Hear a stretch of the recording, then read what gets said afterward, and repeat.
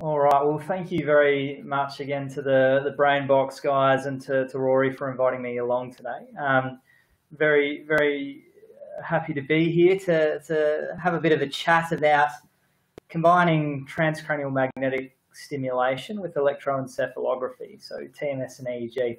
So I thought what I'd do today is uh, give just a bit of a general overview of, of where, I guess, I, mean, uh, where I think the, the field is is at currently, some of the, the, the ways in which the, the combination of, of TMS and EEG has been used over the last several years. And then I guess um, looking at some of the, the, the, key assumptions that underlie the technique, and then maybe having a bit of a review of, of some recent findings that have sort of, I guess, made us maybe question uh, just exactly how well we're actually doing it at meeting some of those assumptions and, and whether we need to uh, take those into account a little bit more when we're, we're designing and our TMS So, to get, um, I thought we could just have a bit of a chat about why we would actually want to combine TMS and EEG. And, and just for those of you, I, I sort of assume that most of you are familiar with, uh, with TMS and how it works, but very quickly, uh, TMS is a non-invasive method uh, that allows us to, to activate cortical neurons using the, the principles of electromagnetic induction.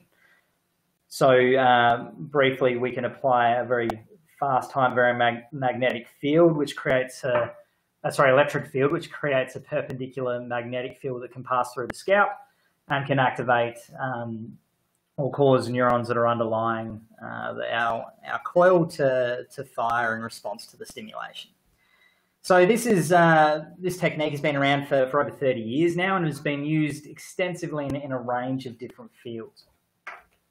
Um, in terms of understanding how TMS actually works, one of the, the, the, areas that I guess has, has really been used the most extensively is to stimulate the, the primary motor cortex and then record the output from that stimulation uh, in the form of the response of the target muscle from the, the area which uh, that is controlled by the area which is stimulating.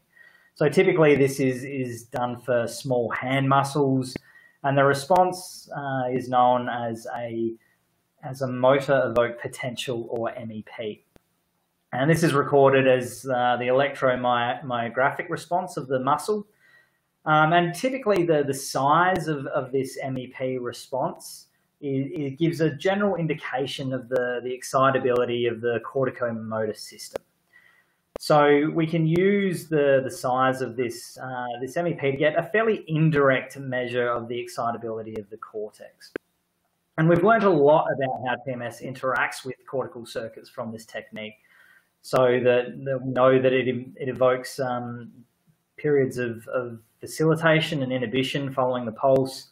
We know that if we apply trains of these pulses that we can occur, uh, we can cause some kind of plastic changes to occur within the organization of these circuits. And we really, uh, really have, have learned an enormous amount. But one of the major limitations for, for the, the motor system, using the motor system as the, the, the output recording from, from TMS is that we are in, inherently limited to, to stimulating and recording from the motor system. So um, put another way, this means that we can't use this same approach to understand how the stimulation interacts with an area like the dorsolateral prefrontal cortex, which doesn't um, evoke a motor output uh, easily. So the, the idea behind TMS EEG is to, to actually use EEG as our output recording of the, the TMS response. So the idea here is, is actually quite simple uh, in that EEG uh, records the, the synchronous activity of large populations of neurons. And, you know, the EEG, generally EEG electrodes sit quite uh, close to the scalp. So the idea is that we can simply place the TMS coil over the EEG electrodes, stimulate the, um, our cortical circuits or networks, and then record the brain's response to the stimulation using the, the EEG as the output. So when we do this, uh, record uh, these EEG uh, recordings across the underlying brain regions that the top of. And what we see is after giving a TMS pulse, and here this is indicated by the vertical line in the, the graphs, we see that we cause synchronized um, periods of synchronized brain activity following the pulse. Now, importantly, when we are recording the response with EEG, we get um, a readout, I guess, of the more or less the whole brain's response to the stimulation. So we're no longer locked to just understanding the response from a single region, but we get both um, a spatial aspect and a temporal aspect of the, the brain's response to stimulation. So two things become quite evident. One is a, a single pulse at, at, a, at a, a reasonably high intensity can cause lasting changes that that um, that last for at least 300 milliseconds, and in some cases much longer than that. Um, we see that the response to the stimulation isn't limited to, to where we stimulate. So on the left-hand plot here, I've, I've, plotted a response to stimulation of the left motor cortex. And on the right-hand side, I've plotted the response to the left dorsolateral prefrontal cortex. So we see that generally the very early response seems to um, occur near where we've stimulated, but then as the as time goes on, we can record responses from actually quite a number of different different brain regions. So um, using EEG as our, our readout, we now have quite a different perspective on how TMS is, is interacting with, uh, with the brain. So the way I showed you um, is looking at um, the, the average response across um, a scalp recording of around 60 electrodes, looking and um, averaging across trials in the time domain. We can also record EEG in the frequency domain as well. So instead of conceptualizing the, uh, the responses and evoke potential, we can conceptualize it more as a stimulated oscillation or, or possibly the entrainment of ongoing oscillations. And how we do this gives us different um, different types of information. So if we take the, the frequency response of the, um, the average or the evoked response um, shown here on the left hand side, we get uh, the, activity with the evoke that's highly time locked to the TMS pulse. However, if we do the frequency decomposition at the single trial level, we can then uh, we're then sensitive to oscillations that aren't necessarily highly time locked to to the to the TMS pulse, also called induced oscillations. So when we do this, um, and this is an example here from uh, the the previous slide, converting the the DLPFC signal into the time frequency domain, we see that um, the the the, the response to TMS includes both high frequency responses, so fast responses, and low frequency um, oscillatory responses as well. So um, a number of people, I guess, have looked at how sensitive these EEG responses are to, to different uh, manipulations.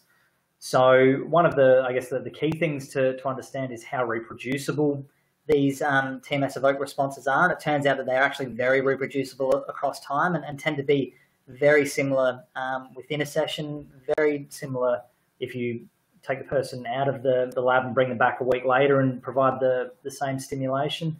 And that similarity can last for actually, it is quite strong over fairly long periods of time.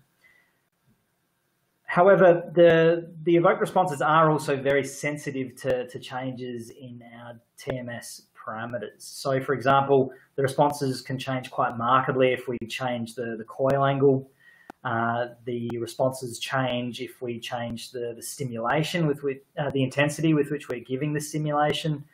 And the, the evoke responses are also quite quite sensitive to the, the site of stimulation as well. So this all suggests that while the, the responses, if all of the experimental factors are held constant, are very reproducible, that they're also very sensitive to changes in the way that we give the stimulation.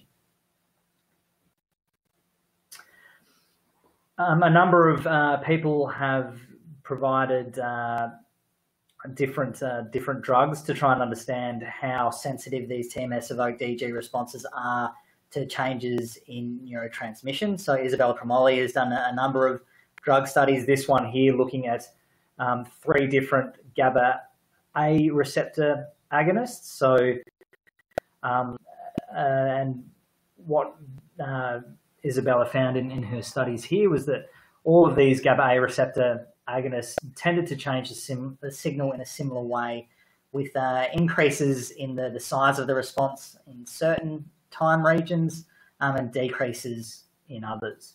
In contrast, uh, when she provided baclofen, which is a, an agonist for um, a different type of GABA receptor, the GABA B receptor, uh, she found that this changed a uh, changed the responses over a different time period.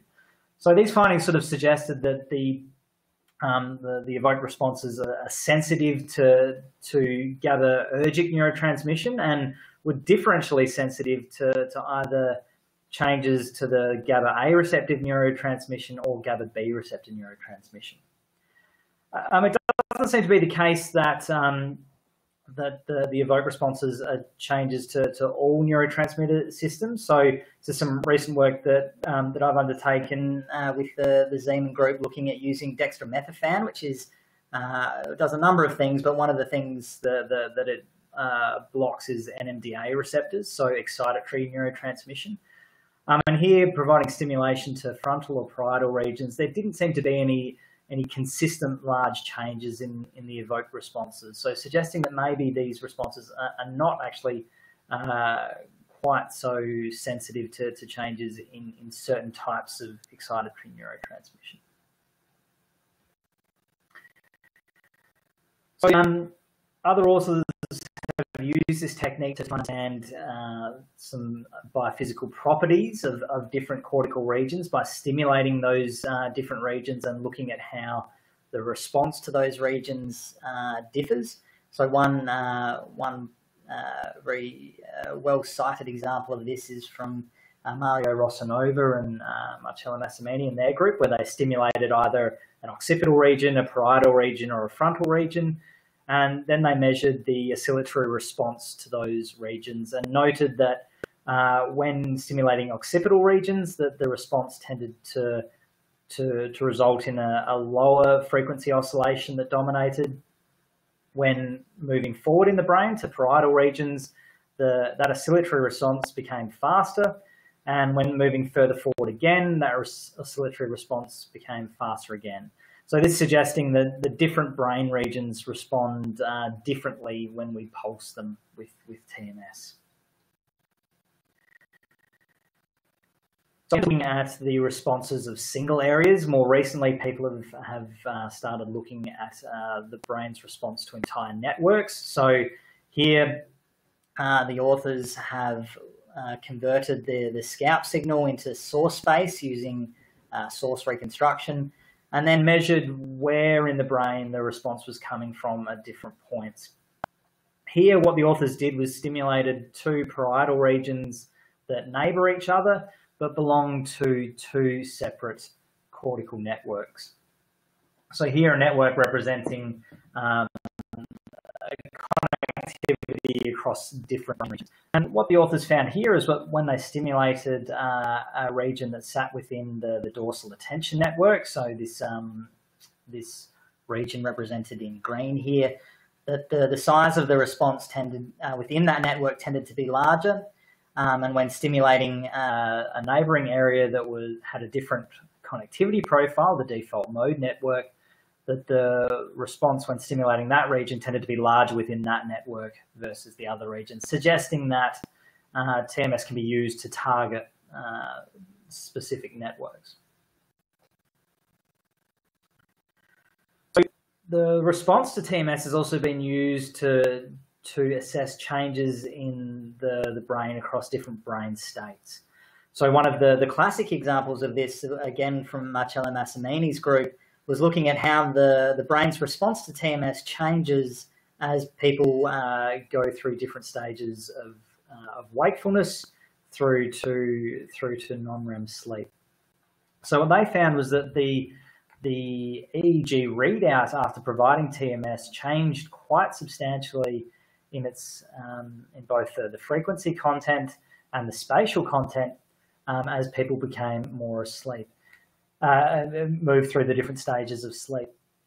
so here the authors uh, interpreted that as, as showing uh, differences in the the capacity of the the brain to changes in the connectivity of the brain through through different brain states. So they use probe more subtle changes in brain states. So in this work here uh, by Jim Herring uh, with, with Til Bergmann, the, the authors looked at how responses to the occipital cortex changed when people were either attending to a visual stimulus or attending to an auditory stimulus. So here, um, two different visual systems, uh, sorry, two different um, attentional states. So what they found was that the, the early response over occipital regions tended to be larger when, when individuals were attending to visual stimuli, which uh, engage the occipital regions, compared to when they were attending to auditory stimuli, which obviously in, involve um, auditory regions. And they also found that the, the oscillatory response to the TMS changed as well, in that the, when uh, individuals were attending to, to visual stimuli, the TMS actually evoked a much longer alpha oscillation um, that, that, lasted for, for more cycles than when they attended to uh, to to auditory stimuli. So all of these findings suggest that the the occipital region changes in its um, in its excitability and its properties when it's uh, when it's actively engaged in an attentional task. So some other applications, and, and the, these examples here are from um, from Sungwook Chung and, and from Aaron Hill, who were PhD students uh, who uh, were co-supervised with Paul Fitzgerald and Hoy. Um, here, Sung and, and Aaron were, were interested in trying to understand how different neuromodulatory brain stimulation paradigms uh, interacted with prefrontal circuits. So Sung was particularly interested in theta burst stimulation, which is a, a neuromodulatory uh, paradigm which has been shown to, to alter cortical excitability in the motor system. So Sung applied theta burst stimulation to the, the prefrontal cortex and then used TMS EEG before and after the stimulation to see how the brain's response to the, the stimulation changed. And what he found was that um, with ITBS, certain uh, peaks of the, the, the evoked response tended to, to get larger. Um, with CTBS, the, the responses, um, so typically this decreases cortical excitability in the motor system, um, but he didn't find any strong changes in the prefrontal system with this paradigm. And when compared to, to sham, he, he typically um, found that particularly this peak around the N120, N100, N120 tended to change. Aaron uh, looked at a, different form of neuromodulatory brain stimulation. So he looked at um, transcranial direct current stimulation. So this involves passing um, a very weak current across the brain, uh, which is thought to, to alter um, neuronal firing rates and induce plasticity in that plasticity in that way. So Aaron compared two different ways of, of providing transcranial direct current stimulation. So um, a standard bipolar montage or a, a, another form where you use a more density, more focal stimulation. And what Aaron found was that, uh, that again, certain aspects of the, the prefrontal uh, TMS evoked response changed. In this case, a slightly different uh, peak um, around the P60, which tended to change both following bipolar and uh, and high density TDCS, but across a slightly different time range. So another very common use for, for TMS evoked uh, uh, for, for TMS EEG is to, to measure or to try and assess pathophysiological changes that occur with different brain disorders. So there's a number of these uh, these examples, but, but one I think which is particularly interesting, um, again from Marcello Massimini and Mario Rosanova's group um, has been uh, the, the, use in, in uh, disorders of consciousness. So uh, here the, the team devised a, a, new metric for trying to understand the, the complexity of the, the response to stimulation, um, which they call the, the per perturbational complexity index. So this looks um, at how far and wide the brain's response to, to the stimulation ranges. and then tries to to distill that um, that activity down to a to a single number, uh, the PCI number, which you see here. And across a number of what their their team has found is that um, that when moving into different levels of consciousness, so either um, during sleep or under different uh, anesthetics, uh, that PCI decreases quite substantially. Uh, what they then see, um, and, and, actually to the point where you can pretty much differentiate people from being either in a state of wakefulness or in a state of, of, of unconsciousness or, or, anesthesia. So what the team then did was applied this to, to people who had, un, um, who had various different disorders of consciousness. Um, and I, the most striking finding here was the, the difference between people who are in a vegetative state, so who um, are still alive and generally um, alive due to, a, due to assistance um, but but are effectively uh, don't have any uh, any functioning brain activity versus people who suffer from locked-in syndrome, which is where the, the brain is still active and people are, are likely still conscious, but they're, they're not actually able to communicate um, due to the, the peripheral systems uh, not working properly. And here, using the, the perturbational complexity index, the team were actually able to nearly entirely differentiate these these uh, these patients who uh, on on observation can be very very difficult to, to differentiate. So this is uh, potentially quite a has the, the, potential as a useful clinical technique for determining whether someone um, has locked-in syndrome and is potentially still conscious versus someone who is um, effectively brain dead. So this is one example from, from its use in, in, in clinical settings, and um, Sarah Tremblay uh, undertook what must be described as a real Herculean uh, review recently. Looked at all of the different questions TMS-EEG has been review, uh, been used for, um, and it's been used in, in over 12 different brain disorders um, in psychiatry and neurology. And um, I'd recommend anyone who's interested in the clinical use of TMS EEG to check out Sarah's paper. It, it really is a very comprehensive overview of, of all of the, the, the, current status of, of um, the clinical use of, of TMS EEG. Okay, so that was just a, a very quick list of um, examples of, of how TMS EEG is currently being used and, and some of the, the interesting questions, I guess, that, that people are trying to answer uh, by using TMS-EEG. So I thought now I'd just quickly um, overview, I guess, the, the two main ways in which uh, TMS-EEG is currently used. And, and some of the, I really wanted to outline and, and lay out some of the assumptions that underlie those techniques because often uh, these, these assumptions, I guess, aren't always clearly stated, and I think they have some quite important implications. So the first approach is, I guess, in, in TMS research. So for people that are trying to understand the, the physiology of brain stimulation and the physiology of TMS. And in this instance, um, TMS EEG is used, I guess, to answer questions like how does the brain respond to TMS?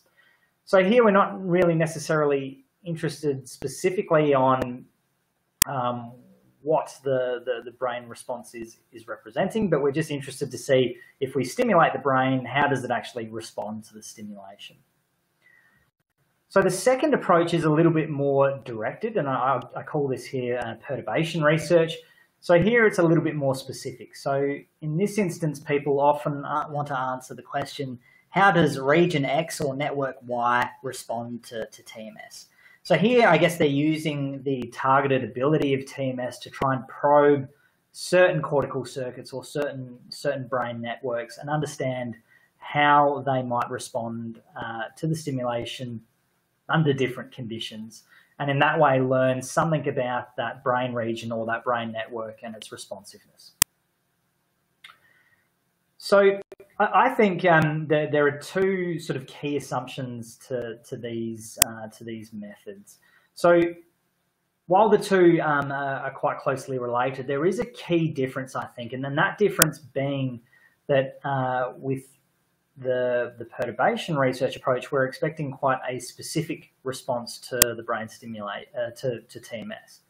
With the TMS research response, we're a little bit more agnostic as to, to where the activity might be coming from, whether it's actually from TMS interacting with the cortical circuits or whether it's from TMS interacting with, uh, with sensory systems or some other physiological uh, mechanism. But regardless, in, in using both approaches, the, the underlying assumption is that the brain signals that we're recording with EEG can be reliably recovered from any artifacts that occur along with TMS that, um, that might affect our EEG recordings. However, with the, the specificity of the, the perturbational approach, there is an additional assumption.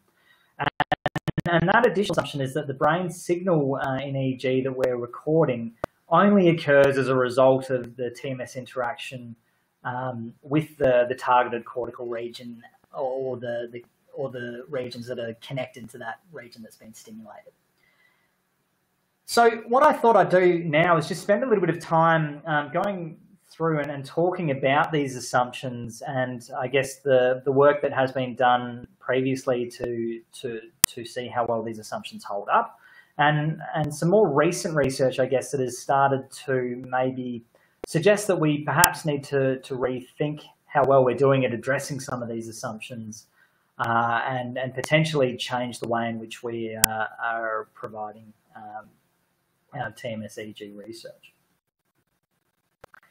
So looking first at assumption one, so can we recover brain signals from, from TMS-EEG recordings? Now, um, for those of you who have had any, uh, any uh, attempts at doing TMS-EEG, you'll, you'll know that this is really, really challenging because TMS actually induces quite a number of artifacts in EEG recordings that, that can really um, destroy the signal. And this is just um, a, an old example that, that, sort of, I guess, really highlights why TMS-EEG wasn't done earlier. Um, it is incredibly challenging. And with a lot of the older um, style amplifiers, EEG amplifiers, the TMS pulse actually used to saturate the amplifiers. So you can sort of see that um, as an example here where the, the stimulation has caused huge drifts in the, the signal. It's caused it to clip in various regions. And in um, in certain recording electrodes here, the, the signal is not actually usable for, for several seconds after the stimulation. So um, in a lot of the older EEG amplifiers, you really couldn't actually get any early responses to stimulation because the, the amplifiers um, were, were, knocked outside of their ranges for, for quite a long time. So um, Risto Ilmoniemi and his team came up with a way around this where they designed what's called a sample and hold circuit, which actually pinned the EEG amplifiers for a brief period around uh, when the, the TMS pulse was occurring. Um, and this um, prevented the amplifiers from being knocked outside of their, their operating ranges and allowed it, and allowed uh, EEG signals to be recorded very soon after the pulse, so within um, several milliseconds after the pulse. And this circumvented this um, this issue of of the amplifiers being being I guess overrun by the TMS pulse. So the sample and hold circuit, I guess, was um, a very nice uh, hardware approach to, to this problem and was kind of the, the gold standard for a number of years. Um, in the ensuing decade or so, um, EEG amplifier technology improved quite substantially. Uh, in particular, the uh, the operating ranges of the amplifiers increased, which meant that uh, that they were no longer being uh, knocked outside of their operating ranges by the large TMS pulse artifact, and they could actually much better record that pulse artifact um, and, and actually uh, be able to, to deal with that. And on top of that, um, amplifiers were designed that allowed DC recordings as well. And this meant that you didn't need to use filters uh, with your uh, with or high pass filters with your um, with your recordings that could also interact with the TMS pulses. And this is just some work that we did, um, stimulating some melons sort of showing that you know using these these high range amplifiers that you actually can characterize the the TMS pulse artifact quite well and can get back to a, a sensible operating range within the, the order of, of, several milliseconds after the TMS pulse. Um, so when we actually applied uh, the stimulation uh, in humans using these these amplifier types, we found that you know in certain people that you could record um, or look like quite sensible looking brain responses just in the raw EEG recordings without any processing um, at all. So quite soon after the, the, the TMS pulse.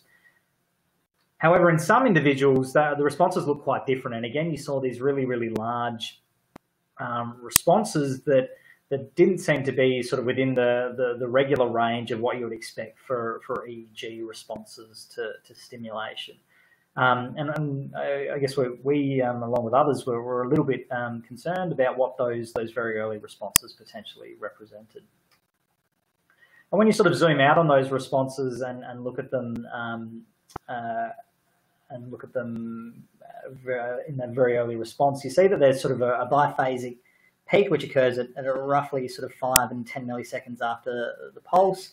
And it looks very much like a, um, a motor evoked potential, which you record from hand muscles, and is in a similar sort of amplitude. And we sort of showed as well that the, uh, that the size of these early responses increases the, the further down that you stimulate. So the closer that you stimulate to, to scalp muscles, uh, the larger these responses uh, became. And we sort of concluded that uh, from this that these large early responses were most likely a TMS evoked um, muscle response. And anyone who's had TMS over areas like the prefrontal cortex will, will know that you know that you definitely um, get quite strong muscle contractions uh, in those in those areas. Um, th this becomes really, really challenging actually uh, for recording the early EEG responses to TMS, um, particularly for, for some of these more lateral brain regions, because the, the size of this, this muscle response can be uh, several orders of magnitude larger than what we expect for brain responses. So this poses a real problem um, for sort of the, the signals within the, the first um, 50 to 100 milliseconds to be able to to be able to actually get what um, to get at the, the, the neural response within these time windows. So different possible um, solutions to this, and one was using a blind source separation method called independent component analysis. Now, this is quite commonly used uh, in areas uh, like uh, magnetic resonance imaging to to help separate out um, complex multidimensional uh, signals into their their component or their potential component uh, component sources. And then what you can do is you can actually reconstruct uh, the signal uh, without those those uh, artifact sources in it. So we look to see what the what components we could get if we if we ran ICA on our on our raw data, and we sort of found that there were components that seemed to uh, reflect quite closely that that early muscle response. So here we'd sort of chopped out the main parts and, and just kept the, the tail. Uh, we found that, that there are also some other components that seem to correspond with the, the slow decays that of cause uh, that can occur in single electrodes due to the, the buildup of charges from the TMS pulse. We found that there were other components that seem to, to link to, to time-locked blinks that can occur, particularly for, for prefrontal stimulation. We found that they mixed actually heavily if you included voluntary blinks into the into the signal as well, that they all loaded onto to the same component. And also in this case, if you just provided um, a sham stimulation, and we found that there was uh, components that loaded onto both the sham stimulation and the, the TMS signal, suggesting that these components might have reflected some kind of um, an auditory response. So what we showed is that if you reconstructed the signal um, without these components, so the, the raw signal here um, on the, the right-hand side in the left panel represents just the raw signal with all the artifacts in it you reconstructed the signal without those components, it looked quite different and was probably more in the range of what we'd expect from um, a physiological response to stimulation than if you didn't uh, than if you didn't sort of remove the signal. So suggesting that it was maybe getting the signal a bit closer to to a physiologically reasonable signal um, than than if you just left all of the the artifact components in. However, there, there are a number of strong uh, quite strong assumptions of independent component analysis. And one of the, the key ones is this idea that the, the signals, in order for, for ICA to, to work well and for it to be able to, to break the, the signals out accurately into, its, uh, into their component parts, that the, these, uh, the underlying signals need to be temporally independent. So what this means is that whatever um, changes that those signals have is that they they occur um, in a way that, that is independent from um, from the other different signals. So in an ongoing uh, in an ongoing uh, recording, this is probably much more of a reasonable assumption. But when things are time locked to something like a TMS pulse or a stimulus, that, that assumption starts to potentially break down a little bit because now all of the events that you're interested in, interested in are by definition time locked. So you lose some of that temporal independence. But still, um, we know that neural responses to, to stimuli uh, tend not to be perfectly time locked and they tend to jitter a little bit. So the underlying assumption of using ICA in TMS research is that there's enough jitter in the, the neural responses compared to the artifact responses that the, that the analysis should be able to, to separate those two, those two out. Now, there's actually been some, some really nice uh, simulation work that's looked to see whether these assumptions actually hold up. So some work, um, again, um, out of Risto Ilmoniemi's group with um, Julio Hernandez Pavon, where Julio actually included some known signals uh, into, uh, into response before he did the ICA decomposition and then looked to see whether he could recover those signals. And what he found was that if the, the artifact, um, the muscle artifact in particular, was too large, that you could recover the time course of the, the activity that you were interested in but the the actual spatial distribution of that activity was quite highly distorted. So what he found is that if you um, that before you ran ICA, you actually needed to make sure that any of the really really large responses were reduced um, sufficiently so that they weren't too large. And if you did that, then you could recover uh, the the responses quite well. Um, in, in a separate study, um, Johanna Metsomaa uh, did another simulation where she in, uh, used some, some TMS-EEG data and actually completely reconstructed a signal where the, the entire signal was simulated. So both the artifacts and the neural data was simulated. And she compared whether uh, the way that we typically do, um, do ICA uh, with this data could actually recover all of the components. And here she was trying to recover 10 components and she found that actually, when you do this in her simulated data, that um, using it in the way that we typically use it doesn't actually work overly well. And there was only roughly four components that um, were that that um, in the simulated data that they were actually able to to uh, to recover sufficiently. So these simulations actually suggest that it's possible that while ICA is is sort of doing a fairly good job at, at suppressing the artifacts, it could actually still be uh, turning the, the brain signals in a state that, uh, that is truly representative of, of what they um, what they actually are. So it might be a case that, that ICA is sort of getting us closer to the truth, but still not entirely to the truth of what the actual um, brain response to, to, stimulation is in these areas that, um, that, that result in these really high amplitude, large uh, large artifacts. So there have been some other um, methods that have been suggested and, and tested as a, opposed to ICA for, for removing these sort of artifacts. So one, um, again, from Risto's group looking um, from Hanna Mäki, she suggested this idea of signal space projection, um, which is used quite commonly in MEG research. So the, the underlying idea here is that the, the muscle response exists in a, um, is a very, very high frequency response and therefore exists in a, a subspace of the signal where we don't expect to see neural signal. So typically, it's, it's thought that um, that um, that uh, brain responses um, recorded by EEG aren't greater than 100 hertz. So what Hanna did was was used um, uh, a version of principal component analysis, which is related to independent component analysis but slightly different, and she filtered the signal just into the high frequency components and decomposed uh, the data based on that.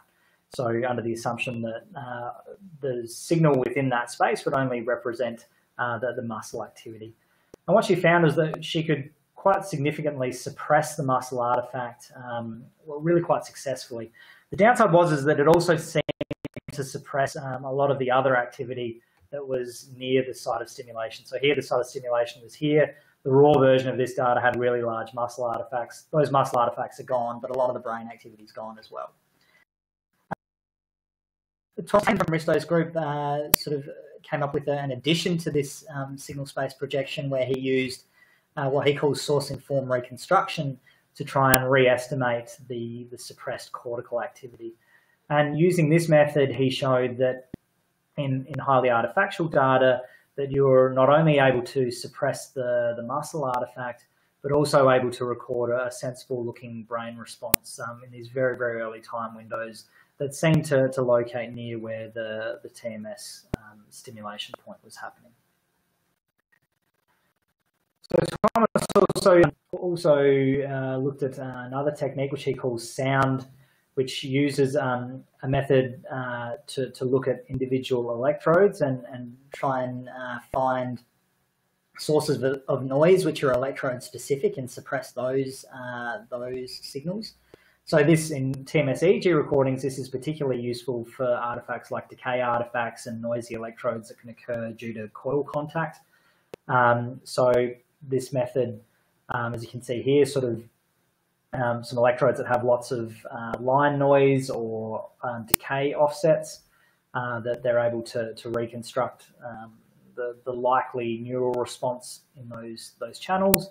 And again, you can recover uh, sensible looking brain responses here that, that locate quite closely to the site of simulation, quite messy and highly artifactual data. So one of the, the major challenges with techniques that are constantly being um, updated uh, is that it's obviously very hard for, for most of us who, who don't have a strong um, mathematics or, or coding background to actually use these methods and to evaluate them. So uh, a few years ago, we started a project called uh, the TMS-EEG Signal Analyzer or TESA um, project. And the idea behind this project was to try and create a, um, a I guess, a, uh, a collection of all of the, the methods that were being used in TMS-EEG analysis and present them in a way that where the code for these, um, these methods was standardized uh, and also that was available to people by making it accessible through a graphical user interface. So we built a plugin for EEGLAB and then working with a number of different people, um, which are over on the right-hand side here in the first iteration of TESA, um, we were able to sort of pull together, I guess, all of the, the state-of-the-art methods that were, were being used. And, and then this, what this essentially allows people to do is to build their own pipelines uh, for TMS EEG analysis and potentially compare the, the effects of using different types of data cleaning methods on on how um, on how that impacts their their data. Um, more recently, Thompson Mana uh, Biabani, one of my former students who's now a postdoc with uh, with our group, um, have extended the the toolbox to include um, both sound and SSP So we just um, online, I think it was yesterday or the day before. So that's now available um, with the so TESA now has both the, the sound and SSP SIR um, functions in them as well. And and for those of you who are out there that are that are using um, or developing new methods and would like to have them uh, available through TESA, please feel free to get in contact with me, and um, be more than happy to work with you to to make those available. Um, and just a shout out to another toolbox that we worked on recently called the Magnetic Stimulator Interface Controller or, or MAGIC for short. So this is a toolbox which allows you to remotely control uh, your your different stimulators using using um, using MATLAB.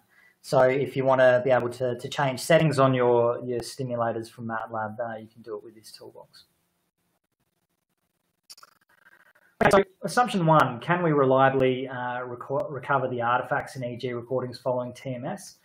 This seems to probably depend a little bit on where you're stimulating. So if you're stimulating in areas where you don't uh, see these large muscle responses, uh, and, and if you're careful with your preparation and avoid things like decay artifacts, then yes, you probably can um, quite reliably recover brain responses. It becomes a lot more tricky in the areas where the artifact responses are, quite, are a lot higher. And I, I, think we still probably don't have a, um, a consensus within the field as to whether any of our our methodological approaches can can truly reliably recover the, the brain responses, particularly in those those early um, those early time points. So I thought we'd move on to assumption two now, which is related more to perturbation research. And that the, um, so this um, assumption here is that the brain signals that we're recording from EEG um, are specifically occurring from the TMS interaction with the targeted cortical region. So I guess we've known for actually for quite a long time, actually probably one of the, the second or third publications uh, with TMS-EEG actually showed that that a large amount of the response that you uh, measure following TMS actually relates to the auditory response from the, the TMS click. So that really, really loud clicking noise that the, the coil gives off causes an auditory evoked potential, um, which is recorded with EEG. And that can be um, attenuated by, um, by, by moving the, the, the coil further away from the, the scalp. So it seems that there are both, there's both a, a air conducted component to this and also a vibration component from the, the coil contacting the, the head.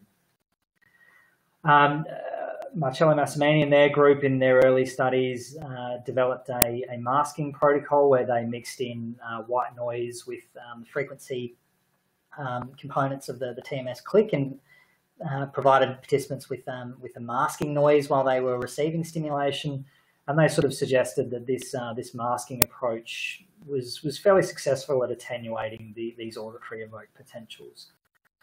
And in some further studies, um, so some other some other people, I guess, tried out this um, just the, using either the white noise or um, full spectral masking noise, and putting things like a layer of foam in between the the coil to try and minimise the vibrations. Sort of suggested that, that using these measure using these measures um, attenuated the the sensory responses to stimulation and seemed to um, I guess, uh, get them to a point where they were more or less negligible. And I guess this was kind of um, assumed to be the case by, by a, sort of a large majority of the field for, for a number of years. However, um, a sort of a series of studies have, I guess, sort of challenged that that view a little bit. And the first one that um, I thought really brought this to my attention was uh, the, the, work by, by Jim Herring and Til Bergmann, where they uh, stimulated the occipital cortex um, in their, their study that we discussed earlier about um, attentional, uh, the, the, attention, the effects of attention on occipital excitability. But they also included an interesting control condition in this study where they also stimulated the shoulder as, I guess, a, um, a region that sort of, uh, you can still hear the coil click, you still get a, a sensory response to the stimulation, but you're not actually stimulating the brain. And what they found was that for the early response, the, the you know the shoulder stimulation didn't really seem to, to, to, be very similar to the to the brain response. But certainly for the later components of the response, the, the two types of stimulation actually look quite similar. So using a slightly more elaborate control condition, more recently, uh, Virginia Conde and um, and Leo Tomasevic, uh, again with Til and Hartwig Siebner, um, I guess, provided a, a slightly different uh, control condition where they actually electrically stimulated the scalp where the stimulation was occurring while providing a spacer between the TMS coil uh, and the head. So thereby both capturing the stimulation of the scalp um, as well as the, the auditory stimulation of the, um, of the, the coil clicking. Importantly here, they also applied the, the masking method, the masking method, so the noise masking um, and the, the foam between the coil. And what they found was that when they compared stimulating either a frontal or a parietal region to their control condition, is that the the two uh, the two signals were actually quite highly correlated across time, particularly from um, around about 50 to 60 milliseconds onwards, but also with a reasonable, um, reasonably high correlation early as well in some channels. And interestingly, more recently, this is um, a, a, preprint that, um, that, that I noticed uh, recently.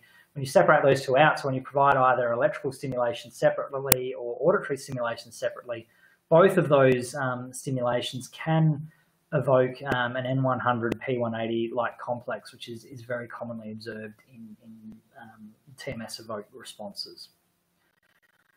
So in some of our work, um, this work uh, undertaken by Mana as part of her PhD um, with my group, uh, we looked at to see whether a similar uh, a similar pattern was observable following shoulder stimulation and stimulation of the primary motor cortex.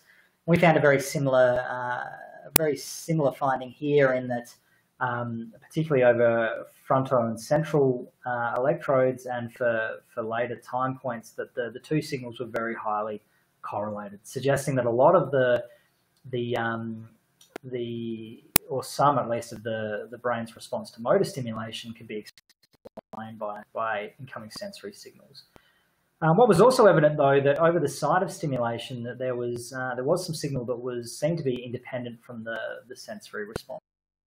And Mana tested a number of different methods for trying to, to disentangle those those responses and recover, um, I guess, that independent response. And she found that actually adapting Thomas's um, uh, signal space projection and source informed reconstruction algorithm that um, that seemed to provide a, a reasonable estimate of uh, the the brain's response to to um, stimulation of the motor cortex, and it seemed that this was actually a little bit more localized than what is potentially uh, concluded when you, you look at the entire response.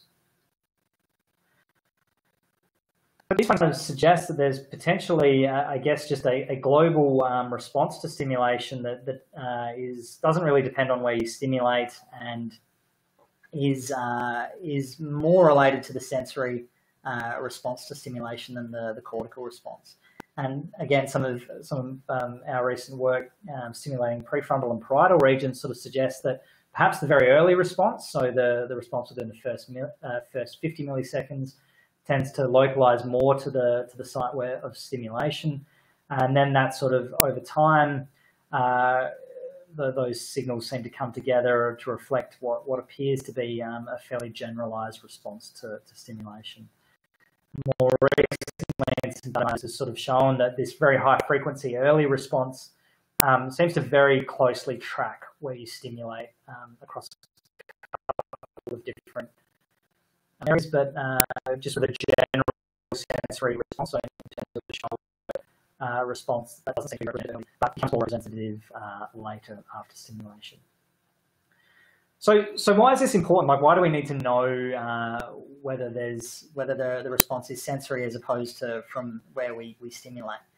Um, I think this is sort of captured nicely um, in, in uh, another finding from from Michael Doe from Peter Enticott's group we've been working with. Um, and this all comes down to, I guess, to how you interpret what the, the outcome of the, the signal is. So what Michael did in his study was he applied uh, CTBS, so theta burst stimulation to the primary motor cortex. He then assessed TMS evoked potentials both before and after stimulation and looked to see whether there was a change um, in the TEP response. And he found that there was a, um, a change in the amplitude of the, the response at 45 milliseconds um, after um, T, um, after the in the TMS evoked response. So one conclusion that I guess could be drawn from this is that the CTBS is changing the, the, the motor cortex's response to TMS, um, suggesting some kind of a, a, plasticity response. But Michael also included a, a shoulder control condition in, in his um, in his study. What he found was that the change in the N45 was also shown in the shoulder condition. So this changes the interpretation of this result um, uh, quite a lot, I think. So instead of potentially representing a change in the, the actual motor cortex output, this potentially suggests that CTBS is, is causing some kind of change in sensory integration. So really, really important to be able to understand whether the responses or the changes that we're seeing with the condition are reflected, I guess, in what we're generally interested in. So are they reflecting a change in the property of the region that we've stimulated or the network that we've stimulated? Or do they just uh, represent some other kind of um, general sensory uh, or change in sensory processing, um, which might also be reflected in TMS EEG recordings? So there's been, um, I guess, a lot of uh, response to, to these current challenges to the field and a couple of recent, um, uh, I guess, editorial responses from, from a large, um, large groups within the field.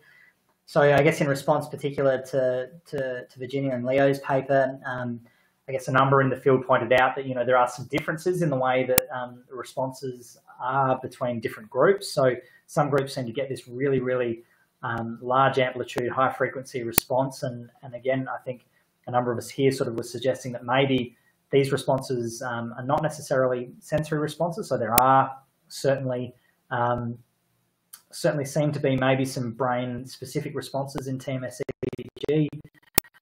And in his group came back pointing out that that might be true, but currently um, a lot of the, the data that is coming out from certain groups, and this is some of the data actually from, from our group, um, doesn't seem to have that really large um, high amplitude early response. So um, I think uh, what these discussions and, and, these debates have really highlighted is that there's still quite a lot of disparity between methods um, across different labs at the moment in terms of how TMS-EEG is being conducted,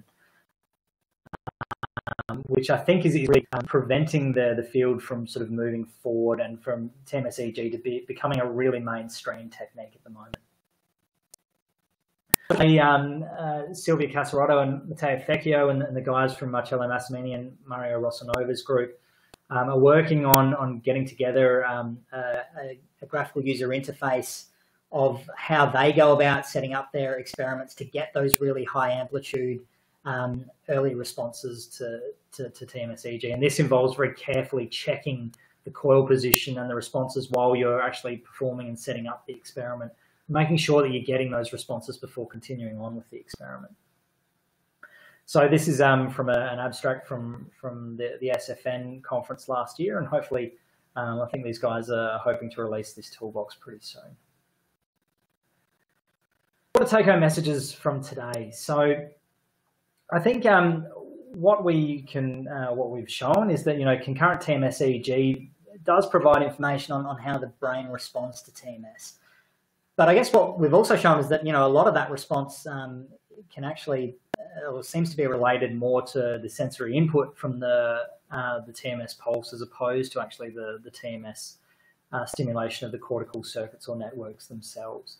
And I guess that the key implication I think of, of these um, of this conclusion is that uh, for for a lot of the published studies that are out there that haven't included um, adequate control conditions, it's actually kind of unclear whether the changes in the, the TMS evoke responses that we've seen in these in these studies are truly reflective of the, the region that's been stimulated, a change in the properties of the region, or whether they potentially just um, might reflect more general changes in sensory processing under those um, those different experimental manipulations.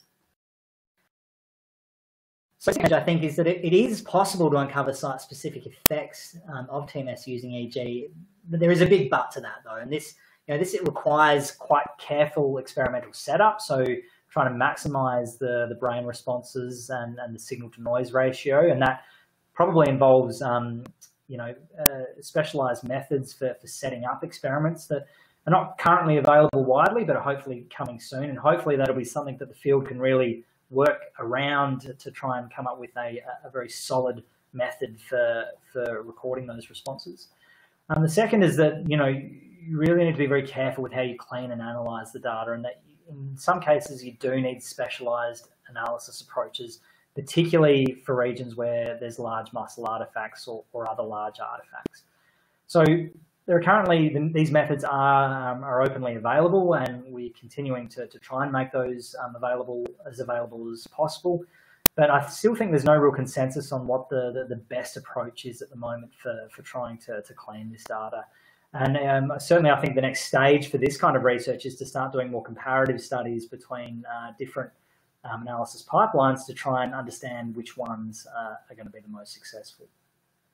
And finally, I think it's, it's really important that, that all of us um, take a step back and when we're designing our studies, make sure that we're being very careful in the way that we construct those studies and that we include uh, sufficient and appropriate experimental control conditions that, um, that will allow us to, to, to adequately exclude whether just general sensory activity is a possible explanation for any um, of the findings that, that we see.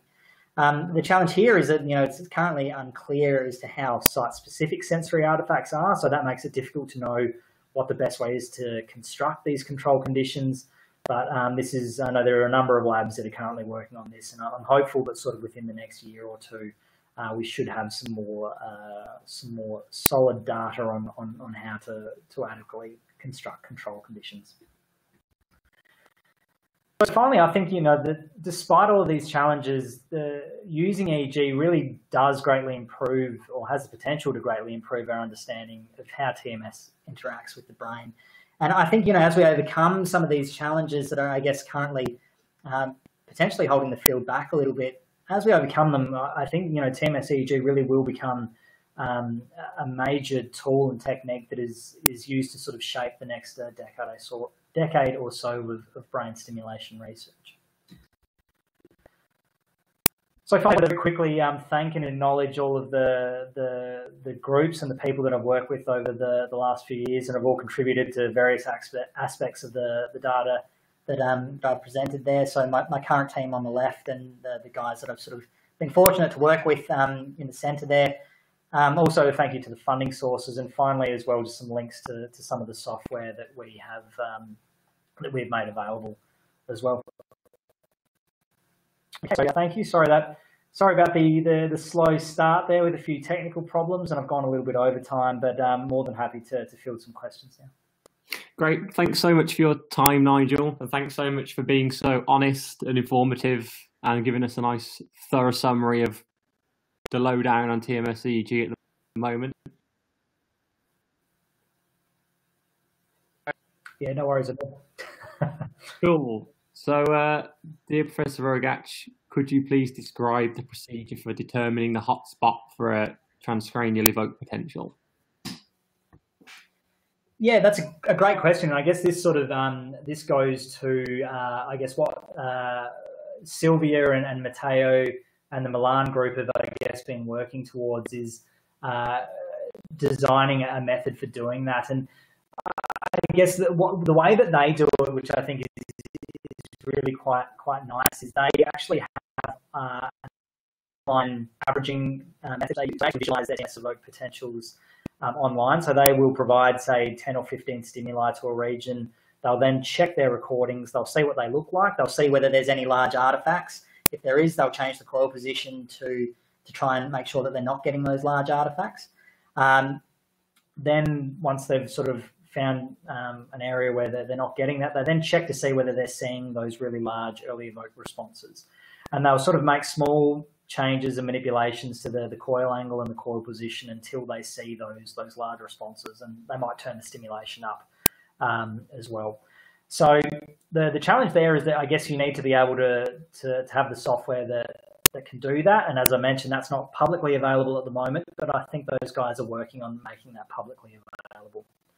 Uh, I'll just also point out as well that I guess the, the, the downside to this method, this technique, is that you know there's actually not very many areas um, where you don't see large responses. Um, you can see these responses quite clearly in raw data. So you really are sort of restricted to, to midline stimulation sites uh, for this method at the moment. So I guess that's where some of the, the processing um, or the cleaning work that, that some of us have been doing uh, becomes important when you're looking at, at regions that are more lateral, like the prefrontal cortex and those kind of regions where you can't avoid the muscle artifacts. So there we need to develop and, and see whether we can, I guess, develop robust processing methods that will allow us to do something similar in those regions.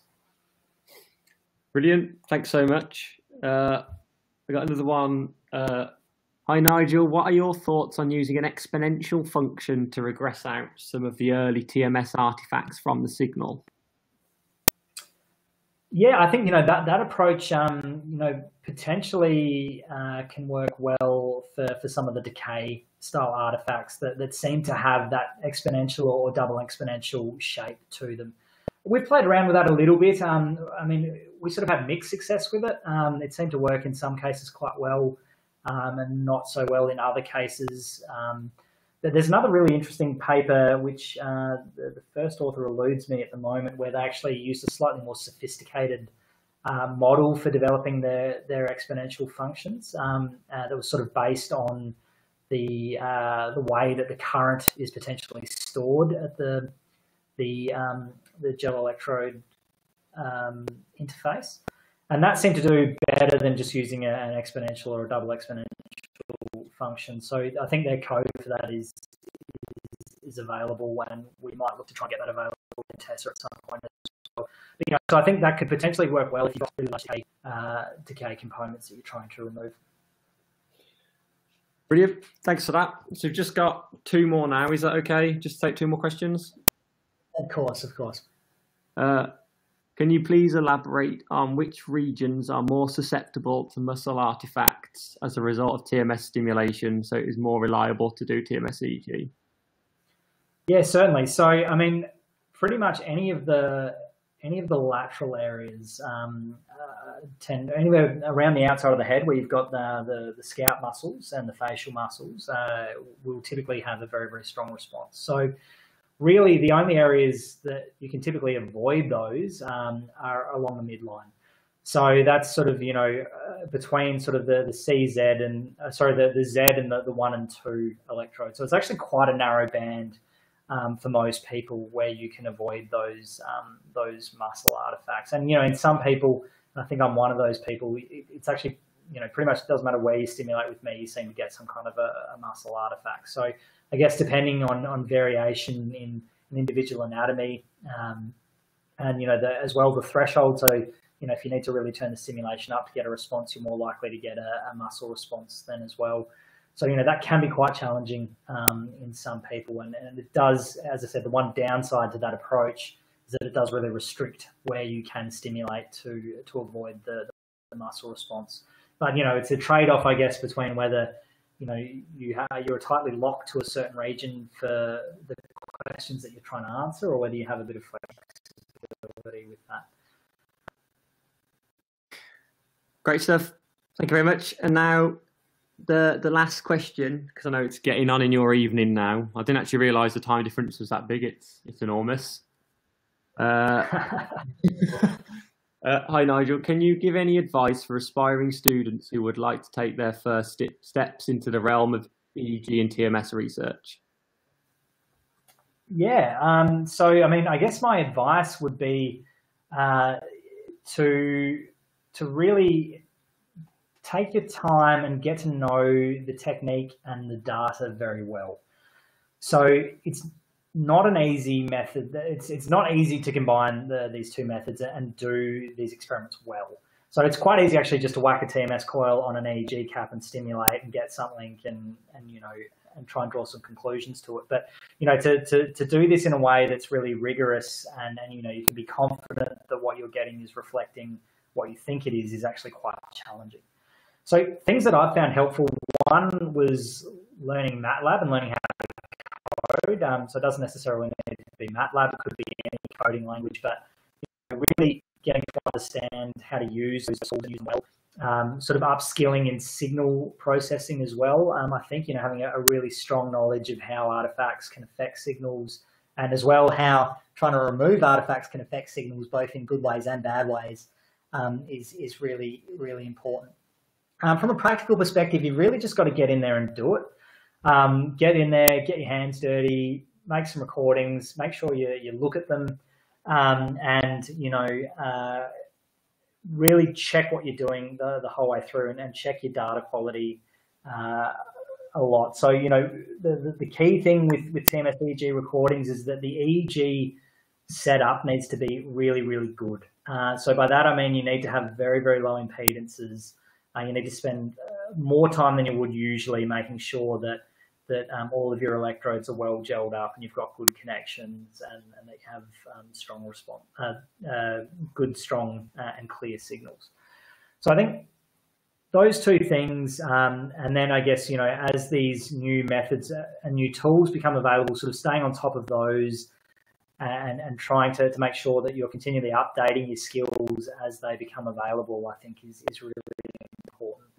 So hopefully that, that's kind of answered uh, your question there. Um, and, uh, again, in terms of the processing side of things, obviously we've done a, a manual which sort of describes how to use TESA to design your own pipelines. So, you know, there's uh, um, there's a lot of information in that manual that hopefully people can use to try and learn how to do some of the, the cleaning methods. But um, I guess, yeah, my, my overall advice would be just to, to make sure you're always checking your data. Um, and, and I guess if you can, try to make your data as clean when you're recording it um, as opposed to trying to clean it afterwards. So it's always better to have cleaner data at the start as opposed to, to trying to clean it at the end. Great stuff. Thanks so much, Nigel. We've had one more come in and I think it would be good if the delegates got the answer. Uh, they have a comment on the Conde paper. Yes. Uh, they use electrical stimulation for the realistic sham. Yep. But the TMS coil is known to be a tapping sensation rather than an electrical one. Yeah. This can involve different skin receptors. Are you aware of any sham controls which can reproduce the tapping sensation of a TMS pulse? Yeah, and I guess that's something which they noted in the, the, the Conde article is that, you know, that the, the, the sharpness of the sensation of the electrical stimulation was quite different, um, I guess, to the, the stimulation. Um, so it's more focal uh, than, than what the, TMS sensation was. So it is likely to be slightly slightly different. Kind of different sham coils that uh, that are kind of around. Um, at the moment, and you know, I guess they use various different methods to try and mimic the the the, or some use uh, methods to try and mimic the the sensory response to the to the simulate to the stimulation. Um, short answer is I'm not aware. I'm aware that they're out there. I'm not aware how good they are, um, and whether that they uh, they will give like a sufficient uh, sham response and I guess you know this is the one of the real challenges at the moment is I guess trying to understand what is a um, you know what is an adequate sensory control condition.